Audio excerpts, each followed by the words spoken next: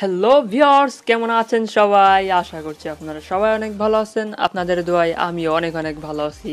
তো চলে আসলাম আপনাদের মাঝে আমি গেমিং উইথ ভাইপো আমার চ্যানেলের আরও একটা নিউ ভিডিও নিয়ে।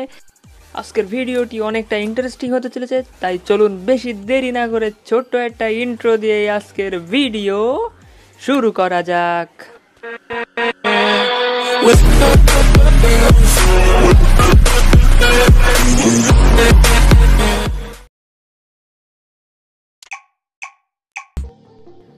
আজকের ভিডিওটি ইন্টারেস্টিং হওয়ার কারণ হচ্ছে আজকের ভিডিওতে আমি একটা হ্যাকারের সাথে অনভার্সন কাস্টম ম্যাচ খেলে ফেলেছি। আপনাদেরকে আগেই বলেছিলাম যে একটা হ্যাকারের কাস্টম ম্যাচ খুব শীঘ্রই আসতে চলেছে আর সেই ম্যাচটি আজকে চলে আসলো। হ্যাকারের সাথে আমি কেমন পারফরমেন্স করেছি সেটা আপনাদেরকে দেখানোর জন্যই আজকের ম্যাচটি তো আপনারা দেখতে থাকেন নাইনটি প্লাস হ্যাকারটি ডিসার্টে একটু দুর্বল ছিল, তাই আমি ফার্স্ট রাউন্ড জিতে গেছিলাম। অনেক কষ্ট হয়েছিল হ্যাকারের সাথে জিততে হ্যাকার ভাইটা অনেক ভালো খেলে। আর অনেক ভালো লেভেলের আইডি আছে কিন্তু সেই সময় হ্যাক হ্যাকের আইডিটা নিয়ে ইউজ করে খেলছিল। আর আমাদের সাথে ক্লাস কার্ড বারমুডায় দেখা হয়ে যায়। আপনারা এর আগের ম্যাচে দেখেছেন যে কেমনভাবে বারমুডায় দুটা হ্যাকার পরে দুই পাশে এই হ্যাকারটা বিপরীতে ছিল আমার কাছে হ্যাকারটা না। আর দেখেন হেড মেরে দিছে উডপেকার দিয়ে। উডপেকারের এরকম হেড আসলে জোস লাগে। না দিতে। ট্রাই করছিলাম মানে স্কারে খুব হেড লাগে। আর আমি কিন্তু পারছিলাম না, কারণ আমার ভয় লাগছিল, আর দেখেন, বেরোইছি আর ক্লিয়ার হ্যাকার ভাই, থোড়া তো রেহেম কারও আরে বেরোনোর সাথে সাথে ভাই একদম ক্লিয়ার করে দিচ্ছে, কি বলব? আসলে এই যে একটা হেড দিতে ফুটে দিয়ে। কিন্তু হেড দিয়েও মানে ভয় কাটছে না মনের ভিতরে, ভয় থেকেই যাচ্ছে। এত ভয় যে আমার লাগছিল খেলার সময়, দেখেন ভয়তে একটা হেডও দিতে পারছি না।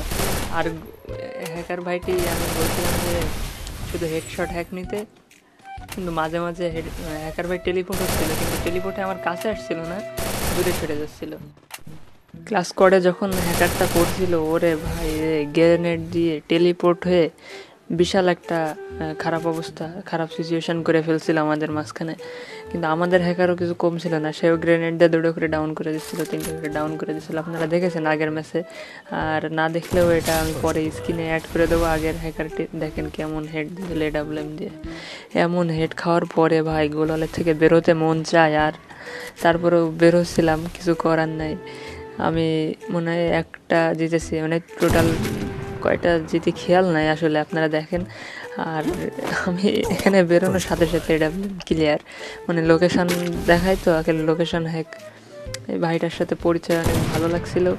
ভাইটা খুব ভালো। পরে বলছিল যে, পরে যদি লাগে খেলার করার সময় তাহলে নিতে। পরে তো হ্যাকার নিয়ে তো খেলা যায় না আসলে। আমি আমি বলেছিলাম যে, ভাই ফ্রেন্ড রিকোয়েস্ট ডিলিট করে দিচ্ছি আপনার পার্সোনাল কোনো কিছু থাকলে মানে মেসেঞ্জার আইডি কি নাম্বার কিছু দিতে পরবর্তীতে যদি আবার কোনো সময় কাস্টম খেলা লাগে মজা করে এনজয় করে কাস্টম খেলার জন্য খেলব। আর এই জায়গায় কী হয়েছিল আমি ওখানে ওই যে বাক্সটার পাশে আমি লুকাইছিলাম। তখন আমি ভাবছিলাম যে একটু মাথা বের করে টুকি দিয়ে দেখি। ত্রিপুরার ভাইয়ের মতন আমি বলছিলাম একটু কি? বলে উঠ মানে উঠে দাঁড়াইছি আর বসেছি। তার মধ্যেই আমার ক্লিয়ার করে দিয়েছে এটা তো দেখেন কি ডেঞ্জারাস লেভেলের হ্যাকার এখানে আমার ইউএসপি হ্যাকার নয় হেডশট দিছে। কিন্তু আমি ভাবছিলাম যে মনে হয় বডি শট লেগেছে এটা। কিন্তু পরে হেলমেটের দিকে তাকায় দেখি হেলমেট অর্ধেক খেয়ে গেছে। তো দেখেন এখানে ইস্কার আর উঠপেকার আরে বাবা রে বাবা, বেরোলি ক্লিয়ার। করোনোর ইউজ করতেছি করোনো নিয়ে আসছিলাম স্পেশালভাবে যে যাতে হ্যাকারের সাথে খেলা যায়। কিন্তু আসলে করোনোর ইউজটা আমি সেভাবে করতে পারি নাই। দেখেন মেডিকেট করছে আর দৌড়ছে। আসলে ভয়তে আমার হাত কাঁপছিল ওই সময়। মনে করেন, কি কব মানে বুকের ভিতর ধরপড় ধরপড় করছে, যদি হেডশট খেয়ে আবার একটা হেডশট বেরোলেই তো হেড দেবে। তাই বেরোতেও ভয় লাগছিল।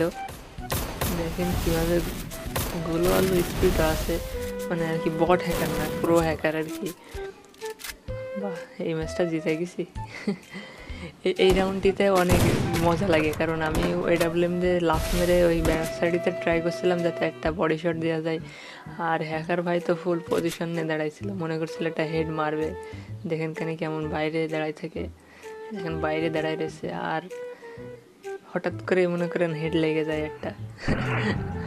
আমার ডিসার্টের হেড করে লেগে যায় একটা হেডশট আসলে হেডশটটা দেওয়ার পরে বিশাল খুশি হয়ে যায় যে হ্যাকাররে হেড দিদি আসলে ভয়তে হেডশট কি জিনিস তাই ভুলে গেছি মানে গুলি করে আর সেকেন্ড দাঁড়াতে পারতেছি না গ্লোয়াল মারা লাগছে ভয় গ্লোয়ালও মানে আসলে কন্ট্রোলও করতে পারছি না ঠিকভাবে।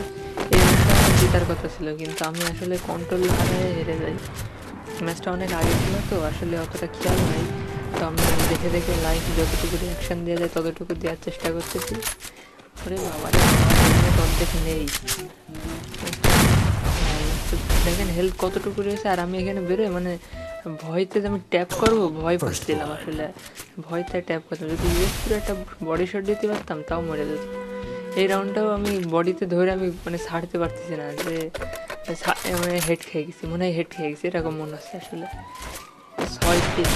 এই রাউন্ড আমি বেরোই মানে আসলে মানে অবিশ্বাস তো এই ছিল আজকের ভিডিও তো যদি ভাই, ভালো লেগে থাকে লাইক কমেন্ট সাবস্ক্রাইব করে পাশে থাকা বেল নোটিফিকেশনটি অল করে দেবেন।